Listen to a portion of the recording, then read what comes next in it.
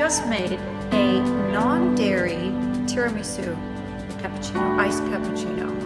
Okay, so we used non-dairy um, creamer and we expanded it with water, that a shot of espresso, and we have a wonderful tiramisu flavoring. Put a, just a tinge of foam on top with chocolate sprinkles. And